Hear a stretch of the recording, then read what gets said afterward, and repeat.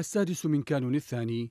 تاريخ ارتبط بذاكرة العراقيين ووجدانهم حيث ظل لعقود مقترنا بالاحتفال بذكرى تأسيس الجيش العراقي حتى جاء الثالث والعشرون من أيار من عام 2003 حينما حل بول بريمر هذا الجيش الذي كان مدافعا عن استقلال العراق وسيادته. ومشاركا بفعالية في الدفاع عن قضايا الأمة في معاركها الكبرى بشهادة الكثيرين كما جرى في حروب 48 و67 و73 في فلسطين وإيقاف ثورة الخميني في حرب الثمان سنوات في القرن الماضي. بعد عام 2003 شكل الاحتلال الأمريكي جيشا جديدا لا علاقة له بالجيش العراقي لا عقيدة قتالية ولا اسسا مهنية.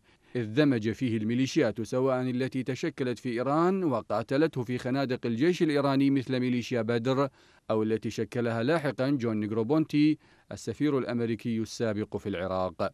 فأصبح هذا الجيش الميليشياوي رديفا لقوات الاحتلال في كل الحروب التي شنها على مدن حاضنات المقاومة الوطنية في الفلوجة والموصل وسامراء وتكريت وغيرها من المدن التي سوي عدد منها بالأرض كما جرى في الموصل.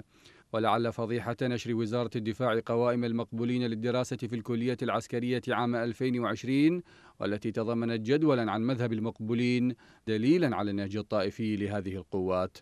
جذرت السياسات الطائفية للحكومات بعد عام 2003 النزعة الطائفية للجيش الحالي وهو ما أدى إلى فوضى عارمة في العراق حينما انهارت ست فرق عسكرية خلال ساعات أمام تنظيم داعش في نينوى عام 2014 اغتنمت إيران وحرسها الثوري هذه الفرصة فشكلت ميليشيات الحشد استنادا إلى فتوى السيستاني بذريعة دعم الجيش في التصدي لداعش. فأصبحت هذه الميليشيا قوة بصلاحيات وإمكانيات تفوق قدرات كل القوات الأمنية الأخرى لا سيما الجيش باعتراف زعيم ميليشيا بدر هادي العامري وهو ما اعتبر استنساخا لتجربة الحرس الثوري.